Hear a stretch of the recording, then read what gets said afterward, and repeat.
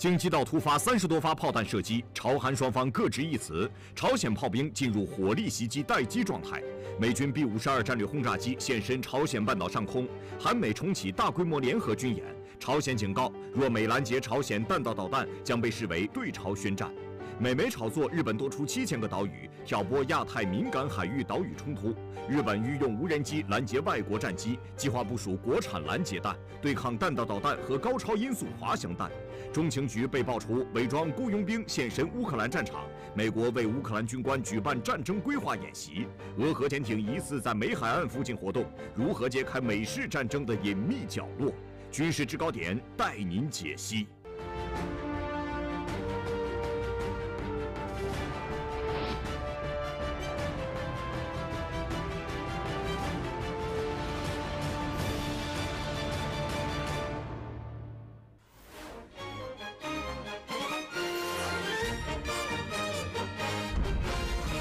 登录军事制高点，用数据透视真相。大家好，欢迎收看今天的军事制高点，我是沙尘。今天模式呢，给大家请来两位嘉宾，一位是国际问题专家张斌老师，一位是军事问题专家魏东旭老师，欢迎两位。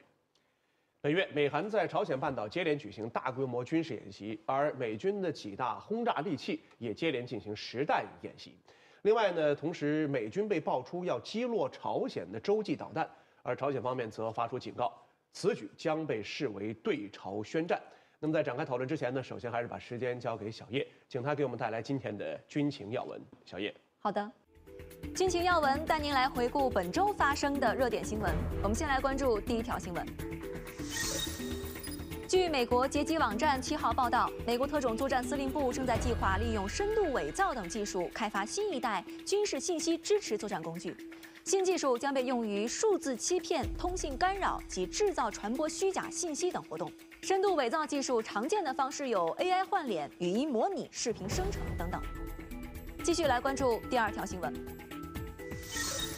据路透社独家消息，四名美国官员三月八号透露，作为美英澳奥库斯协议的一部分，澳大利亚预计将购买多达五艘美国弗吉尼亚级核潜艇。美国总统拜登将于下周一在美国接待澳英两国领导人，为向澳大利亚提供核动力潜艇和其他武器制定下一步的计划。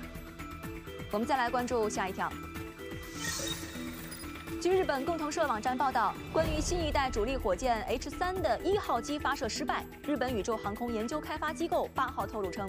在第二级发动机点火时间前后，电源系统出现了异常，发动机未能点火。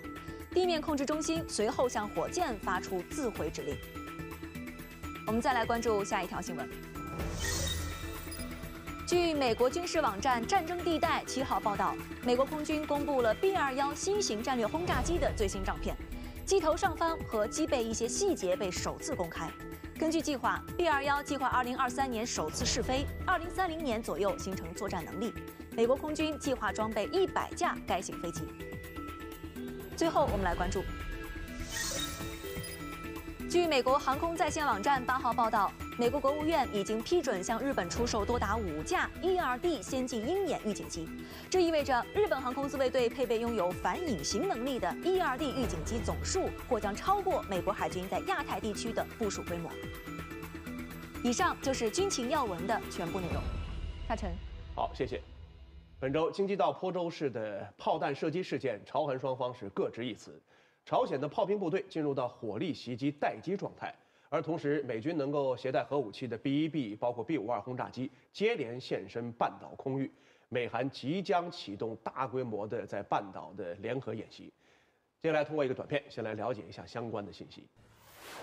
朝鲜人民军总参谋部三月七号发布消息称，韩方当天在京畿道坡州市的一个射击场进行三十多发炮弹射击，朝鲜第二军所属炮兵部队随后进入火力袭击待机状态。韩国联合参谋本部当天反驳称，朝方相关说法毫无根据。同一天，朝鲜劳动党中央委员会副部长金宇正也警告称，如果美国对朝鲜向太平洋发射的弹道导弹采取拦截等军事应对方式，将被视为对朝鲜宣战。而此前一天，可搭载核武器的美军 B 五十二战略轰炸机出现在朝鲜半岛上空，与韩国空军进行双鹰联合演习。本月初，美军 AC 幺三零 J 空中炮艇机和死神无人机也首次现身朝鲜半岛，演练实弹投掷多种精确打击武器。此外，韩美军方还联合发布消息称，将从本月十三号至二十三号进行名为“自由护盾”的联合军事演习。韩媒称，这意味着韩美战区级大规模机动联合演习时隔五年后正式重启。据韩联社援引韩国军方八号消息报道，韩军联合参谋本部决定最早将于七月创建联合无人机作战司令部。韩国国防部还计划将军事分界线蓝沿线的放哨任务从人工放哨改为由无人综合警哨系统。首先，张斌老师，你看这个京畿到坡州的炮弹射击事件，应该说一下把半岛的紧张局势拉满了。那距离这个所谓自由盾牌韩美的联合军演现在还有一周的时间，但是你看朝鲜方面已经首先发出警告了，说。朝方可以进行反制性示威活动，该怎么理解这种反制性示威活动？这次这个事件相当于啊，我们说一个呃导火索，或者说是一把枪的扳机。为什么呢？坡州市这个地方，如果大家看地图的话，它是位于韩国京畿道的。这样靠近朝方一侧，也就是它是个分界线上的城市，离分界线很近，距离首尔只有四十公里。这个地区它的这个敏感性非常强，那当然朝鲜的这样一个紧紧迫感就会加强。所以为什么它马上进行反制，进入到一种准备战斗的状态？那么未来很可能呢发生难以预知的后果。你看近期的军事演习，包括这个呃从三月十三号到二十三号的自由护盾的演习，这可以说是韩美之间。历时时间最长的一个演习，而且呢，这个演习过去是被文在寅政府叫停的。那么现在时隔五年重新启动战区级的大规模的联合作战的演习，同时美国又在这个朝鲜试射战略武器方面明确表示要击落等等。所以其实我们看到美国军事实力的介入和韩国一边倒的倒向美国，是朝鲜半岛的局势紧张的一个根本的根源。然后你看，美国还爆出来说要准备击落朝方的这个洲际导弹，那当然朝鲜是非常强硬的警告了，说这就被视为对朝宣战。另外，新的一周我们看到美军的这种轰炸利器啊，比如说 B 五二现身半岛空域，然后几天前还有它的这个死神无人机，包括 B 一 B 轰炸机也都出现在半岛空域，这是不是意味着美方要针对朝鲜半岛展开一场核常结合的这种全面冲突，或者说？为这样的全面冲突做准备。我们注意到，现在呢，针对东北亚方向，美国空军正在着手准备核常兼备的这种大规模的战争，就是在美韩战斗机的掩护之下，那么要为它的 B 一 B 枪骑兵轰炸机以及 B 五十二 H 这种战略轰炸机在半岛的相关空域要构建所谓的安全的火力发射阵地。因为这两款轰炸机的载弹量是非常大的，无论是携带精确制导弹药，还是这种远射程的这个巡航导弹，包括一些这种战术的核武器。它可以针对半岛，尤其是半岛北方所有的这种地面目标进行全方位的火力覆盖，这就可以看出，在亚太地区，呃，美国的这种霸权体系正在和它的这种军事动作和军事演习进行密切结合，具有越来越多的挑衅性，带来了更多的冲突风险。在几天之前呢，美国空军的 AC 幺三零 J 幽灵骑士炮艇机首次飞临了半岛上空，参加韩美的“柚木刀”联合演习，并且发射了多种精确制导的弹药，模拟攻击。接下来时间呢，我们还是交给小叶，请他给我们带来一组相关的观察。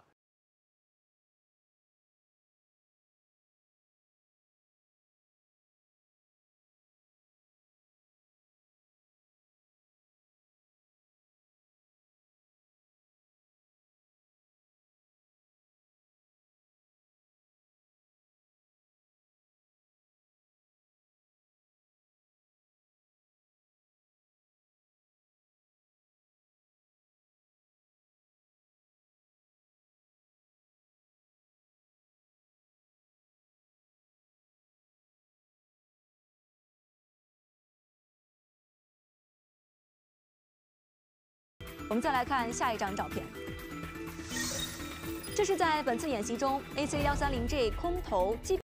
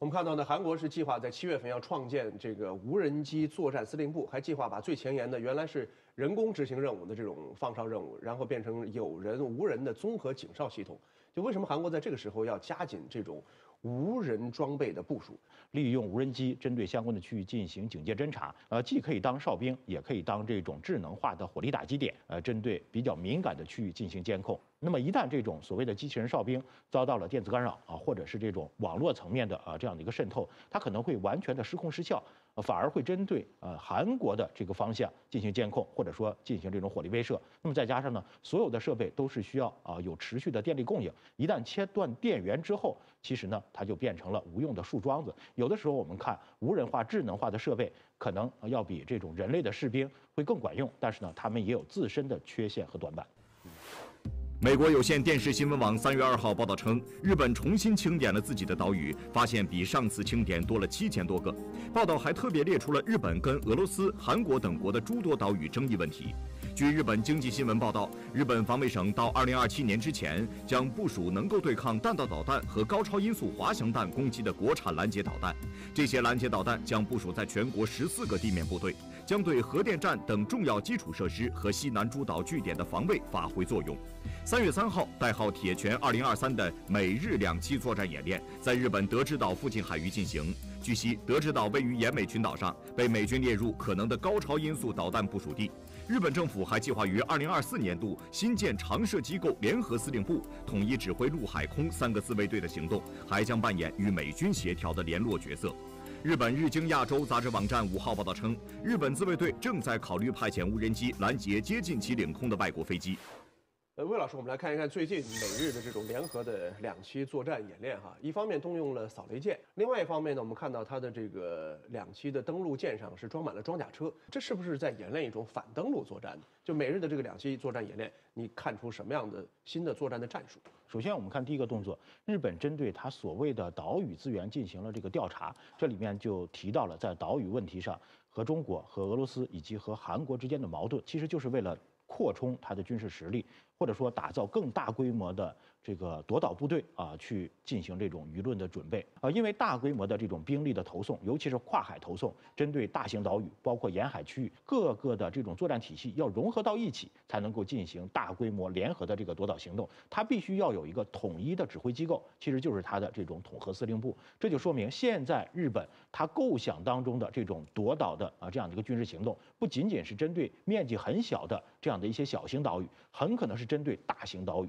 包括呢其他国家周边国家的这种近海的沿岸的这种具有战略属性的这样的一个区域，那么它的指向就非常明显。可以说呢，现在的日本自卫队已经变得越来越危险，针对地区的和平与稳定带来了更大的挑战。还有一个动向值得我们关注，就是日本在大力的发展它的无人作战装备，准备用这个无人机来拦截外国的战机。您怎么看这些动向会带来什么样的影响？呃，他在军事层面一些比较大的动作呢，我们可以看作他想复制二战期间的这个太平洋战争，采用这样的一种自杀式攻击的方式，那么企图啊进行啊这样的一个最后的挣扎。那么现在呢，日本的防卫省包括自卫队啊，希望打造更多的啊这种呃无人化的空中侦察平台，甚至是呃未来要打造这种无人的侦察机、无人的这个攻击机，在周边区域进行间谍活动啊。首先呢，这个。任务呢是要针对周边国家的一些重要目标和敏感区域进行空中侦察，那么也不排除还是要复制神风敢死队的模式，采用空中碰瓷的方式和其他国家正常飞行状态的军用飞机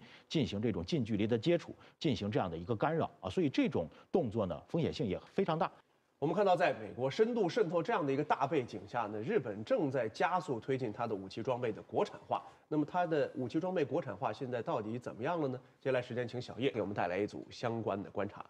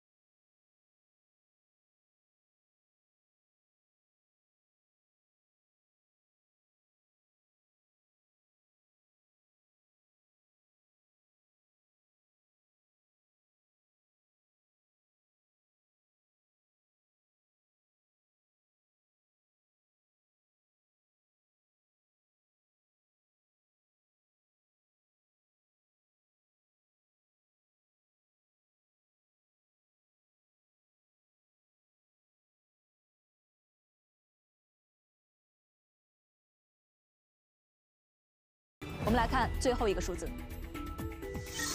三分之二。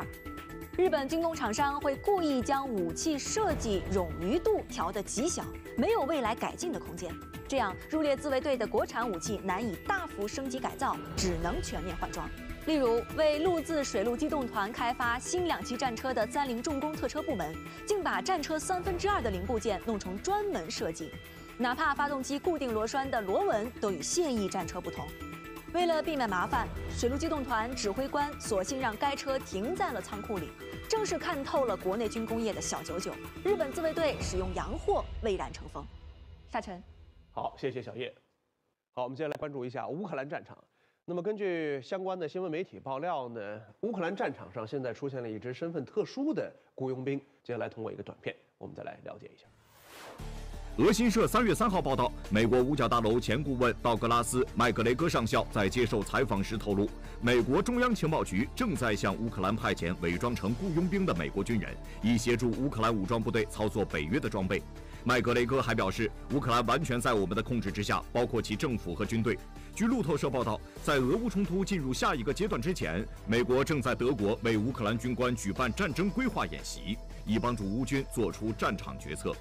但据美国《星条旗报》网站三月六号报道，根据美国国防部的一份新报告，二零二二年俄乌冲突爆发后，数千名美军士兵被迅速部署到欧洲。然而，从 M 幺零九帕拉丁自行榴弹炮到 M 一 A 二艾布拉姆斯主战坦克等装备和其他车辆都不具备合乎标准的战斗配置。同一天，据美国新闻周刊网站报道，随着俄乌冲突继续激烈进行，美军指挥官和军事观察人士对数千公里以外，在美国海岸附近频繁活动的俄罗斯海军潜艇发出警报。报道称，俄海事研究所的负责人迈克尔·彼得森称，有迹象表明，俄海军核动力潜艇已经部署在美国海岸外，进入地中海和欧洲周边的其他地方。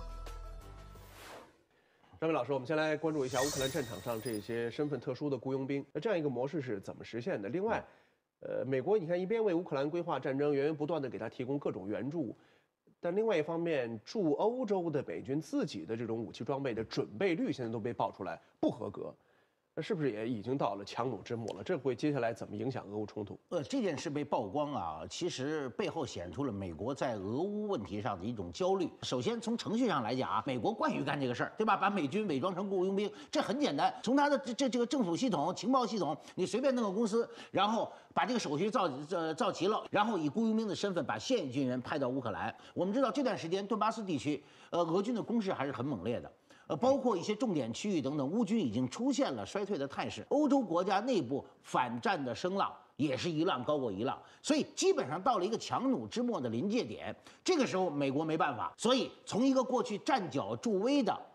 角色，开始变成一个赤膊上阵的演员了。所以这次其实派派现役军人，我们不管派多少，他的这个用意其实是非常明显的，就是现在已经必须得美国亲自上手了。那么意味着美国和俄罗斯可能会直接的对撞。呃，这其实是一个非常大的风险，因为如果一旦变成了从过去的俄乌冲突变成了美国和俄罗斯之间的直接对撞的话，甚至会引发核战争的风险。这一点其实我觉得是我们未来要关注的。那说到美俄的这种直接碰撞的风险，同学我们来看一看，在俄乌冲突期间，我们看到俄罗斯海军一直在黑海地区集结兵力，而现在被爆出来说俄罗斯的核潜艇频繁地出现在美国海岸附近。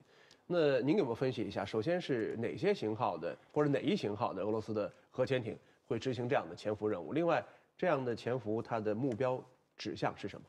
呃，美国在俄乌冲突区域内搞这种秘密战，那么会对于一线作战的俄军的部队构成直接的伤害。那么针对美国的这种挑衅，呃，俄罗斯向来是对等反制。那么比如说，俄罗斯最先进的亚森 M 级的攻击型核潜艇，呃，就是水下最新式的钢铁巨鲨。呃，那么它采用了综合的降噪手段啊，比如说采用了呃全新的这种消声瓦啊，艇内的噪声很难传递到海洋环境当中去。那么北约的反潜机，包括水面舰艇以及北约的潜艇，想要跟上呃亚森 M 啊，它的这样的一个水下行动的步伐是非常难的。那么俄方先进的这个攻击型核潜艇就可以从呃大洋出击，那么针对呃美国的海外军事基地，包括美国本土啊进行这样的一个威慑。后续呢，亚三 M 还会配备前射版的锆石高超音速导弹。打航母也好，打航母基地也好，呃，美国海军现有的防空和反导体系是拦不住的啊，所以它是具备这样的一个功能。除此之外呢，就是比尔格罗德号的特种核潜艇，可以携带呃，波塞冬核动力无人潜航器啊，不仅可以针对航母编队进行摧毁，那么同样呢，针对沿海的军事设施，包括敏感的这种呃军事目标啊，也可以实现一击必杀。所以我们看美俄之间的这样的一些暗中的较量，呃，不仅在呃俄乌冲突区域内展开，同样的，在全球范围内，俄罗斯也要展示自身的实力，亮出自己的杀手锏。嗯。我们看到，除了隆隆的战火之外呢，美国还利用它的信息科技的霸权、话语的霸权，经常混淆视听，让我们看到了一次又一次的荒诞畸形的美式谎言。接下来时间呢，请小叶给我们带来一组相关的观察。小叶，好的。长期以来，美国为谋取地缘政治私利，不断炮制话语陷阱，企图用一个又一个的荒诞故事绑架局势。下面我们通过一组数字来了解一下。我们先来关注第一个数字，近百分之八十。美媒日前炒作称，美国港口使用的近百分之八十岸边集装箱起重机为振华重工制造，这成为了中国起重机可以所谓收集美国情报的潜在途径。据《华尔街日报》日前报道，美国国家安全部门和五角大楼的一些官员日益怀疑，树立在美国多地，包括几个军用港口在内的用于港口集装箱调运的中国重型起重机是所谓的特洛伊木马，能在众目睽睽的作业过程中执行所。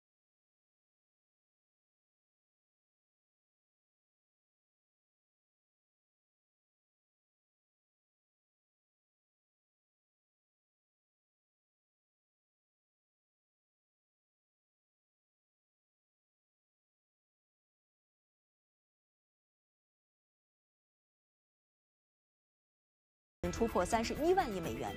美国华盛顿智库两党政策研究中心今年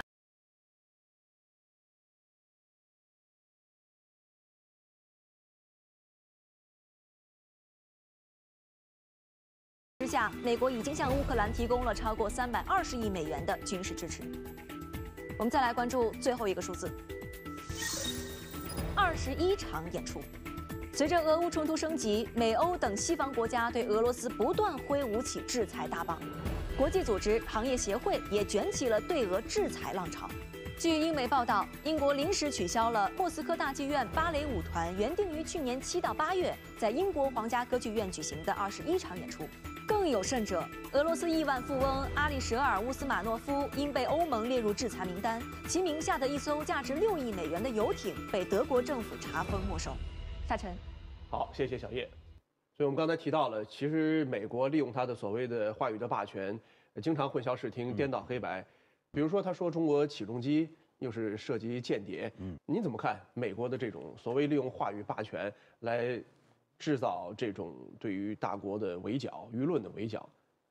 呃，美国的这种霸权啊，体现在方方面面。比如我们一直谈的军事上的这样的一个介入和遏制，还有一种呢，就是这种舆论上的霸权和它双重标准的一个霸权。你看这个最典型的这种这种谎言欺骗。所以你看，在对华的态度上，美国两个方面啊，一个美方多次表示不寻求与中国的冲突，然后不不跟中国发生冲突，但是一次次的挑衅，甚至故意诱发冲突的这样一些动作。频频的出现，其实美国哪有双重标准？美国从始至终标准就有一个，对美国有利就是它唯一的标准。好，非常感谢两位今天精彩的解读。我们先进一段广告，稍后再回来。